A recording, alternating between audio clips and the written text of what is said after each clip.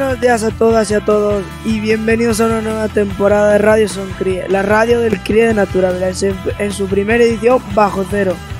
Buenos días, a lo largo de este curso os traeremos un montón de novedades y datos interesantes sobre nuestro proyecto Zona Fría.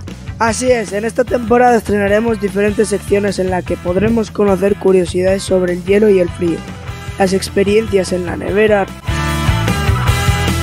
Realizaremos diversas entrevistas, además de adentrarnos en la novela El Principito de Antoine de Saint-Exupéry. ¡Qué bien suena todo! Pues vamos a comenzar con la presentación de los redactores de esta semana. Bienvenidos a ambos desde Arevalo. Un fuerte aplauso para el Adaja.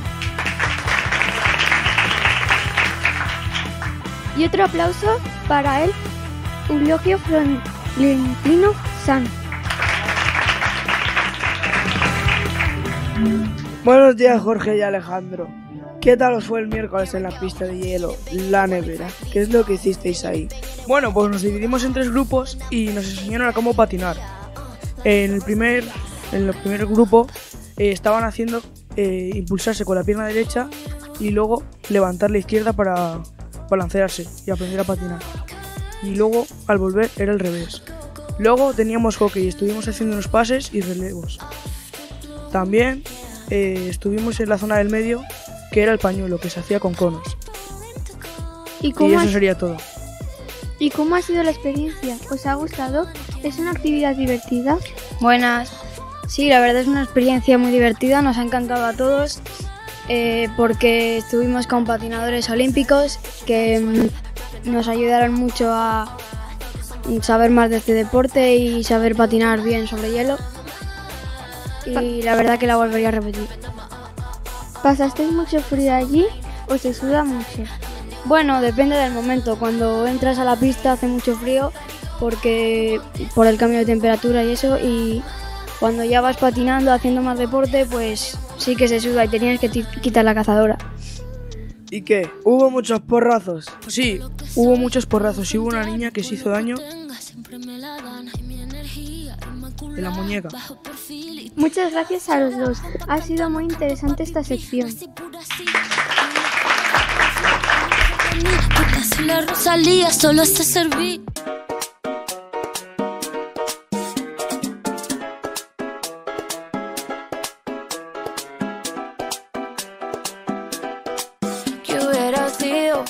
Continuamos, vamos a ver con qué nos sorprenden ahora nuestros siguientes invitados. Bienvenidos, Eva y Mirella. ¿Qué tenéis para nosotros? ¿Sabíais que en el CRIE también se lee? Leemos y jugamos, dos en uno. Exacto, este año se cumplen 80 años de la muerte de Antoine de Saint-Exupéry y para rendirle homenaje estamos leyendo su obra más, ma- fama- más famosa, El Principito.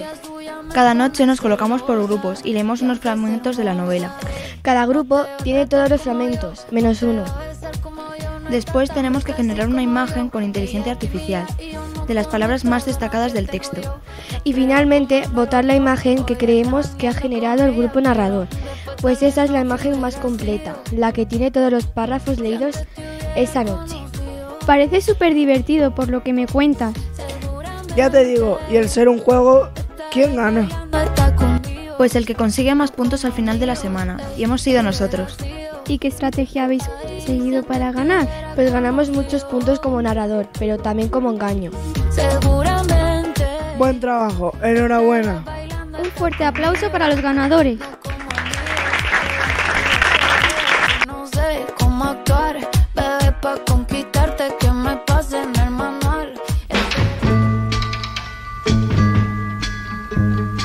Vaya programa de radio bueno que nos está quedando. ¿Y ahora con qué continuamos? Pues en esta sección vamos a conocer datos interesantes sobre el proyecto que estamos trabajando y en concreto esta semana cómo disfrutar de la montaña nevada de forma segura. Uy, qué interesante suena eso. Adelante con la entrevista. Hoy contamos con la presencia de Marta Rodríguez y Ángel Torres, expertos en montañismo del Club Deportivo Abulense de Montaña Almanzor, que nos van a dar consejos útiles para disfrutar de la montaña de forma segura. Buenos días y muchas gracias por participar en nuestro Radio Soncrie en su programa Bajo Cero. Pues muchas gracias a vosotros, que nos hace mucha ilusión estar aquí, ¿verdad? Sí, claro. Para realizar una ruta segura en un entorno elevado, ¿qué imprescindibles debemos llevar en nuestra mochila? En un entorno nevado. ¿Quieres decir? Pues mira, en la mochila, eh, haya nevado o no haya nevado, tenemos que llevar unos imprescindibles siempre, que son el botiquín, una manta térmica, comida y agua de sobra, eso siempre. Y luego además, si vamos a hacer una ruta con nieve, pues tenemos que llevar guantes, gorro, un buff, súper importante llevar unas gafas de sol porque si no se nos pueden quemar los ojos con la nieve. Y yo creo que de imprescindibles eso, ¿no? Básicamente en la mochila En la sí. mochila, sí. Bueno, y ropa, y ropa de abrigo y impermeable, claro, calzado y ropa impermeable, adecuada para, para caminar por la nieve. Eso en la mochila, y puesto ya veremos qué, qué más cosas. ¿Qué medidas de seguridad debemos de tener en cuenta para que nuestra escapada invernal sea segura o evitar riesgos? Eh, lo fundamental es, ante todo, eh, llevar una ruta bien planificada. Eh, saber dónde vas a ir, eh, cuánto tiempo vas a estar eh, en la montaña, eh, tener la precaución de mirar el día anterior eh, el- la meteorología, si va a nevar o va a llover, qué tiempo va a hacer. Eh, y luego, pues depende en qué medio te muevas, si vas a subir a alta montaña o vas a hacer un paseo, aunque sea con nieve por una zona de más baja altitud, pues si vas a alta montaña tienes que llevar tu- tus crampones, tu piolet o tus raquetas y muy importante tener una formación y aprender a manejar todo eso antes de, de enfrentarse a cualquier ruta con nieve o, o de alta montaña.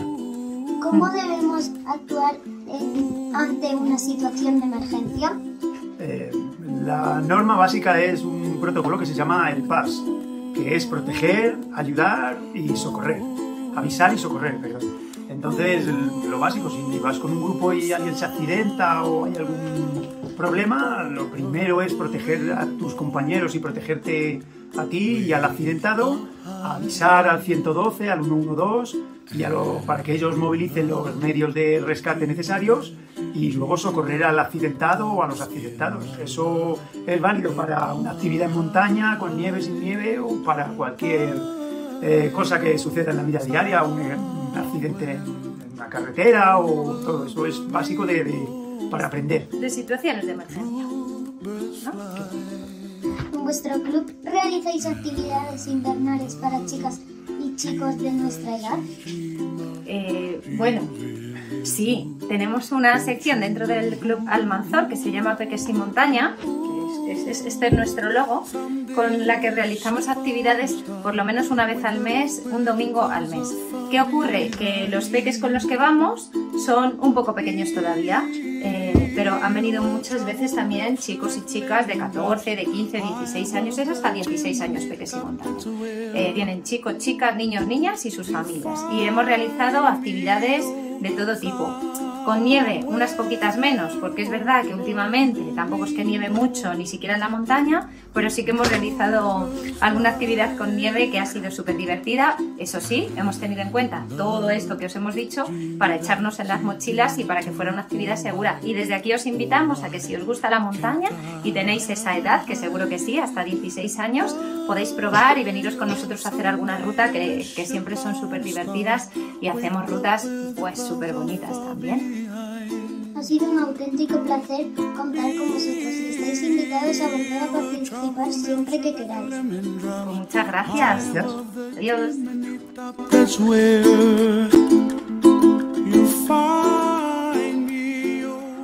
Si no, me ha encantado conocer más sobre estos temas. Este invierno y gracias a estos consejos ya no, me se, ya no se me resiste más la montaña nevada.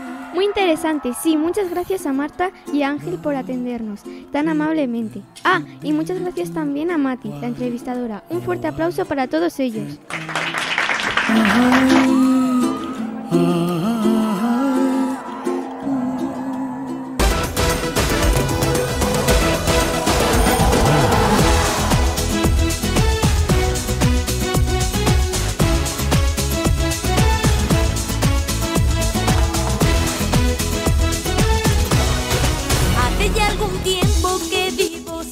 Bueno, vamos a ir terminando el programa que nos estamos quedando sin tiempo y sin ganas.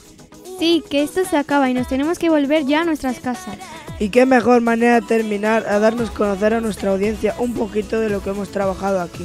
Exacto, y para eso tenemos a Manar y a Triana, que nos van a contar alguna actividad de la que realizamos en el CRI. Hola. ¿Qué tal chicas? ¿Qué nos vais a contar del CRIE? Eso, ¿qué actividad chula vais a contar a la audiencia? Yo voy a contar la actividad de los CARS. Fue una experiencia muy chula y además de ser una experiencia muy chula, nos enseñaron muchas cosas del tráfico, a respetar señales y a respetar muchas más cosas. Nunca había montado y la verdad que me ha gustado mucho. Yo me encantaría repetir.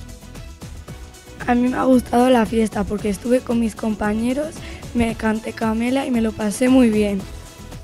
¿Cómo mola? Me alegro de, de que lo paséis tan bien y que aprendáis tan, cosas tan interesantes para que luego la podáis seguir utilizando y desarrollando en vuestros centros. Se nota que aprendéis y disfrutáis mucho. Muchas gracias chicos. Y ahora sí, nos despedimos de la conexión desde el CRIE Natural, dando por finalizado nuestro programa y nuestra audiencia. ¡Qué penita! Esperamos que os haya gustado. Muchas gracias a todos. Ah, y no os perdáis el programa de la siguiente convivencia con el IES Adaja y el IES Sierra del Valle. Un saludo.